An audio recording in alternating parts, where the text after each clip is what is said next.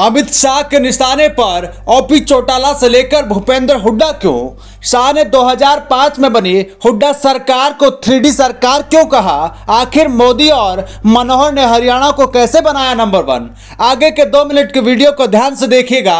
आखिर केंद्रीय गृह मंत्री अमित शाह ने हरियाणा की राजनीति पर कैसे बोला जोरदार हमला?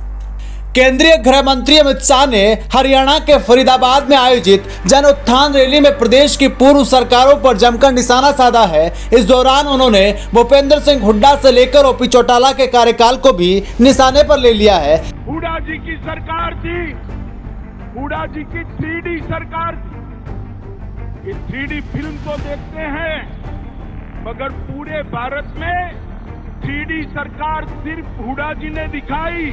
आप हमें कमेंट करके बताएँ कि आप अमित शाह की राय से कितने सहमत और असहमत हैं।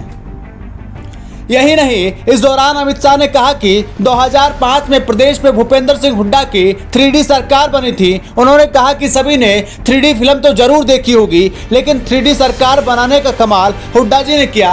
इसमें दरबारी थे, दामाद थे, डीलर थे।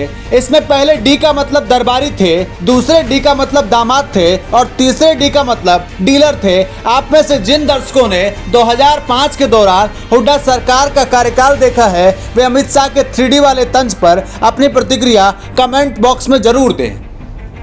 अमित शाह ने आगे मनोहर लाल खट्टर सरकार के बारे में बोलते हुए कहा कि भाजपा के नेतृत्व में विकास करने वाली सरकार बनी है। मनोहर लाल के नेतृत्व में हरियाणा के हर ज़िले और हर गाँव का समान विकास हुआ है। शाह ने आगे कहा कि मनोहर लाल ने सभी वर्गों और पूरे हरियाणा की चिंता की है। उन्होंने कहा कि हरियाणा में पचास सालों की सरकारें एक तरफ़ और आठ साल की मनोहर सरकार एक तरफ़ है। अमित शाह यही नहीं रुके।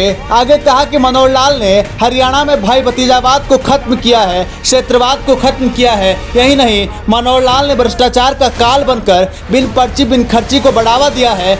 उन्होंने कहा कि प्रधानमंत्री मोदी की तरह सीएम खट्टर ने भी हरियाणा के लोगों के हितों को ध्यान में रखकर काम किया है। उन्होंने कहा कि मोदी और मनोहर लाल की जोड़ी ने हरियाणा को नंबर वन बना दिया है। मोदी का लगाव हरियाणा से है। मोदी ने यहाँ संगठन का काम किया है। हरियाणा की कोई भी योजना योजना उनकी टेबल पर जाती है, वह तुरंत स्वीकृत हो जाती है। प्रधानमंत्री हरियाणा के विकास के लिए कटिबद्ध हैं। आप अमित शाह के दावों से कितने सहमत हैं? अपनी राय, अपनी प्रतिक्रिया हमें कमेंट बॉक्स में ज़रूर बताएँ।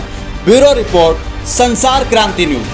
मित्रों, खट्टर जी ने सभी वर्गों की चिंता की है, पूरे हरियाणा की चिंता की है, और मैं आज गडल्ले से कह सकता हूँ पचास वर्ष की सरकारें एक और और हमारे मनोहर लाल की आठ साल एक और। पलड़ा हमारा भारी है भाई, पलड़ा हमारा भारी है।